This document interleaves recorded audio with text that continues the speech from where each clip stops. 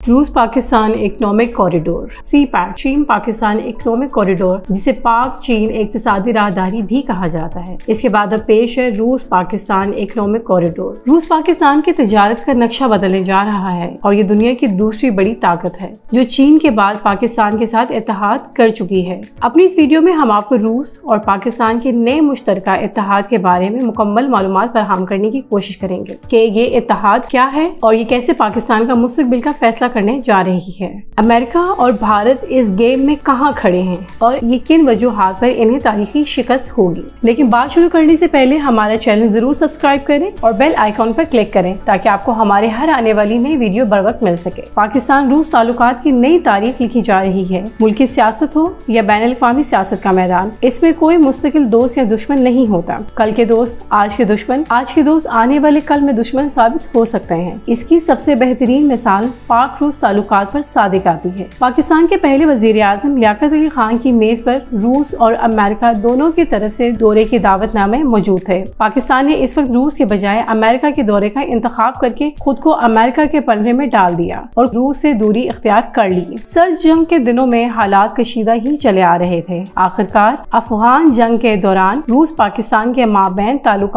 का बाब बंद होकर रह गया। रूस ने दुनिया के बहुत से हिस्से पर कब्जा किया। हर तरह के तजारती मकाम पर कब्जा करने की कोशिश की, लेकिन हमेशा ऐसी बंदरगाह से महरूम रहा जो तमाम मौसमों में काम करती हो, जैसा कि गवादर। गवादर वो रास्ता था जिससे रूस पूरी दुनिया की मीशत पर कब्जा कर सकता था। इसके लिए रूस ने एक लंबा अरसा अफ़गानिस्तान से जंग की, और ये वो जमाना था जब पाकिस्तान में कम्युनिस्ट तरक्की पसंद, रोशन ख्याल अदीब, शायर और सियासतदान भी बहुत खुश थे। वो समझते थे कि चाहे रूस गर्म पानियों की तलाश में ही पाकिस्तान आए, लेकिन यहाँ पर कम्युनिज्म का निज़ाम तो नाफिज होगा और इसके नतीजे में इस्लाम को पाकिस्तान में सरकारी सतह पर खत्म कर दिया जाएगा, जैसे ताजिकिस्तान और अजबिस्तान जैसे मुसलमान रियासतों में रूस के इकतदार के बाद हुआ। और अब ठीक उनतालीस साल बाद वही रूस है, लेकिन बदला हुआ। वही रूस है और वही ख्वाब। और मेरे अल्लाह ने गवादर की गर्म पानियों की बंदरगाह रूस को इस्तेमाल करने के लिए मुयसर कर दी। लेकिन इस पर इकतदार पाकिस्तान का बरकरार है। तारीख एक और रंग से तहरीर हो गई है। फैसले सिर्फ़ और सिर्फ़ मेरा अल्लाह करता है, यानी मेरा अल्लाह हर शय पर गालिब है। अब सूरत हाल ये है कि बदलती हुई जोग्राफियाई सियासत, दिफाई, मुआशी हालात और बढ़ते हुए इलाकाई खतरा ने पाकिस्तान और रूस को एक दूसरे के साथ तोन की राह दिखाई है। ये अचानक नहीं शुरू हुआ।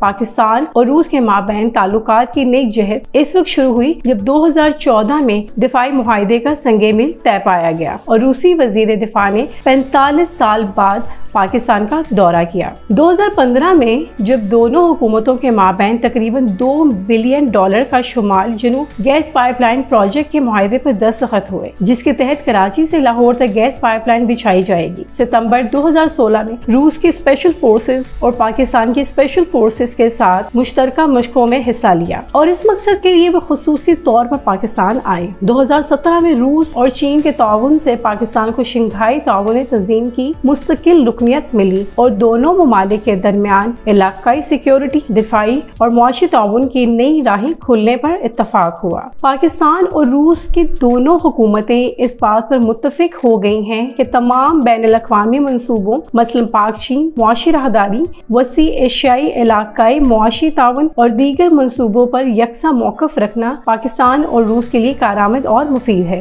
इसी वजह से रूस ने भी सी पैक में हिस्सा ले लिया। पाकिस्तानी मीडिया तो इस बात को कवरेज कवरेज नहीं दे रहा। सिर्फ़ चंद एक सहाफियों ने इस खबर पर कुछ शोज़ किए हैं। लेकिन चीनी मीडिया भरपूर अंदाज में दुनिया को बता रहा है कि रूस सी पैक शमूलियत इख्तियार कर चुका है और माहों पर दस्तखत भी हो चुके हैं। कुछ साल पहले खबर आई थी कि रूस ने सी पैक में शमूलियत इख्तियार कर ली, लेकिन फिर इसके बाद इसकी तरदीद भी की गई। लेकिन अब ऐसा कुछ नहीं है। रूस ने सी पैक मनसूबे में हकीकत में शमूलियत इख्तियार कर ली और रूस को पाकिस्तान की तरफ़ से सी पैक के रोड इस्तेमाल करने का इजाज़त नामा भी मिल चुका है। अब तूफ़ान का रुख बदल चुका है। रूस को तारीख में पहली बार गर्म पानी तक की रसाई हासिल हुई है। अगर आप इस बारे में मालूम नहीं रखते तो हम आपको बताते हैं कि गर्म पानी से मुराद एक ऐसा समंदर है, जो मौसम में सरमा में मुंजमद ना हो। किसी भी मुल्क को ऐसे समंदर की ज़रूरत बिलखसूस तजारत के लिए दरकार होती है। यानी गर्मी हो या सर्दी, तजारत जारी रहती है। और ये नेमत पाकिस्तान को मुयसर है। इसी वजह से सी पैक के हवाले से गवादर की बंदरगाह तक रूस की रसाई के बाद दुनिया भर के अखबार में रूस की गर्म पानियों तक रसाई के एनवान से कॉलम छप रहे हैं, जिनमें मौकर अखबार भी शामिल है। इन कॉलमों में गर्म पानी वाले बंदरगाहों के फवायद बताए गए हैं कि कैसे अब पाकिस्तान दिन रात तरक्की कर सकता है। अब होगा क्या? सिर्फ़ चीन ही नहीं, रूस लंबे अरसे से अपनी तजारत इस खत्ते से करना चाहता है। इसके लिए रूस के पास सिर्फ़ दो ही रास्ते हैं। एक ईरान की चाबहार बंदरगाह, जिसकी गहराई 11 मीटर से ज़्यादा नहीं, दूसरा रास्ता गवादर का है जो कि दुनिया की सबसे बड़ी तीसरी गहरी बंदरगाह है। वसी एशिया की रियासतें दुनिया का दूसरा सबसे बड़ा तेल और गैस का जखीरा रखती हैं। जिनको वो इन ममालिक तक पहुँचाना चाहते हैं। रूस और वसी एशियाई ममालिक गवादर की बदौलत अब पाकिस्तान पर इन्हसार करेंगे। एक अंदाजे के मुताबिक अस्सी हज़ार ट्रक रोज़ाना चीन, रूस और वसी एशिया के ममालिक से गवादर की तरफ़ आमदोरफ्त करेंगे। पाकिस्तान को सिर्फ़ टोल प्लाजा के मद में ही 20 से 25 अरब रुपए की बचत होगी। सिर्फ़ यही नहीं, पाकिस्तान दुनिया भर से खरीदो फरोख्त करके अरबों नहीं, खरबों कमा सकता है। और कुछ नहीं तो रूस के साथ पाकिस्तान तेल के मामले में बहुत ज़्यादा खेल सकता है और अरब ममालिक से अपनी जान छुड़वा सकता है, जो अमेरिका की गुलामी में मुसलमानों के खिलाफ हर साजिश में शरीक हो जाते हैं। अगर तेल की बात की जाए तो गवादर पोर्ट दुनिया की तीसरी गहरी बंदरगाह है, जहाँ से दुनिया में बड़े पैमाने पर तेल सप्लाई करने वाली लाइन आबनाए हम्स गुजरती है। ये बंदरगाह पूरे सेंट्रल एशिया के ममालिक, चीन, रूस, ईरान के लिए बहुत ही मौसर है। पाकिस्तान अरब ममालिक के बजाय सीधा सीधा रूस से तेल खरीदे इससे सस्ता भी पड़ेगा और इसकी जरूरियात भी पूरी होंगी। इतलात के मुताबिक गवादर कॉरिडोर से तेल की एक पाइपलाइन भी गुजारी जाएगी, जिसके ज़रिए योमिया 10 लाख बैरल तेल चीन को पहुँचाया जा सकेगा। ये चीन के लिए एक बहुत बड़ी सहूलत की फरहमी का ज़रिया होगा। याद रखिए चीन को फिल वक्त अपने तेल की जरूरियात की तकमील के लिए मुख्तलिफ़ ममालिक से कम बेश आठ मिलियन यानी अस्सी लाख बैरल तेल दरामद करना पड़ता है और इसकी नकलो हमल के लिए चीन को भारी रकम खर्च करना पड़ती है। इसी तरह की पाइपलाइन की तनसीब से चीन को तेल की फरहमी आसान हो जाएगी। इसमें किसी तरह की रुकावट और खलल पड़ने का इम्कान भी नहीं होगा। दौरान तरसील, तेल के ज़ाया होने का खदशा नहीं रहेगा और तेल की तरसील पर अखराज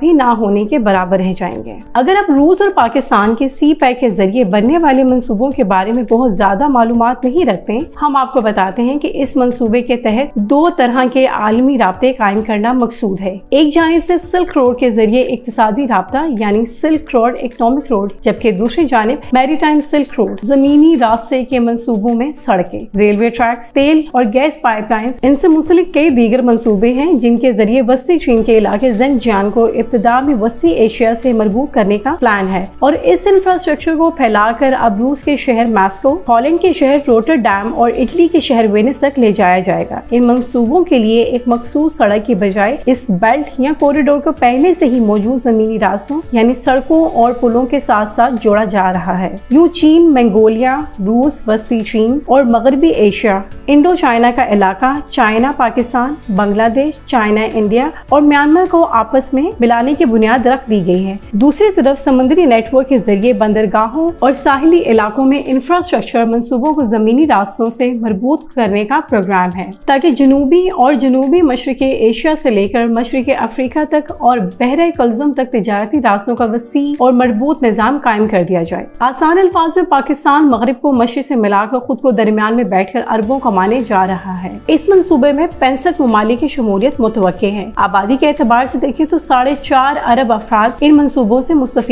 होंगे। इन ममालिक और आबादी की मजमू कौमी आमदनी को जोड़ लें तो ये आलमी जी टी पी का चालीस फ़ीसद बनता है। याद रखें, दुनिया के नक्शे पर पाकिस्तान की जोग्राफियाई अहमियत को नजरअंदाज करना मुमकिन नहीं। यही वजह है कि सर्द महरी की बर्फ़ पिघलते ही रूस ने पाकिस्तान की तरफ़ रुजू करने में देर नहीं लगाई। मगरबी कर्जों की कड़ी शराइ ने पाकिस्तान को दूसरी तरफ़ देखने पर मजबूर कर दिया है। और ये इस कदर कामयाबी से रुख बदला है कि पाकिस्तान का मुस्तकबिल रोशन है। आप इस हवाले से जो भी राय रखते हैं, हमें कमेंट में ज़रूर आगा करें। ये वीडियो सोशोन के ताउन से पेश की गई है। सोशोन पाकिस्तान का नेशनल सोशल मीडिया नेटवर्क है। अपना अकाउंट बनाने के लिए सोशोन डॉट कॉम आरोप जाए या गूगल प्ले स्टोर और एप्पल ऐप स्टोर ऐसी सोशोन ऐप डाउनलोड करें और पाकिस्तान का अपना सोशल मीडिया इस्तेमाल करें।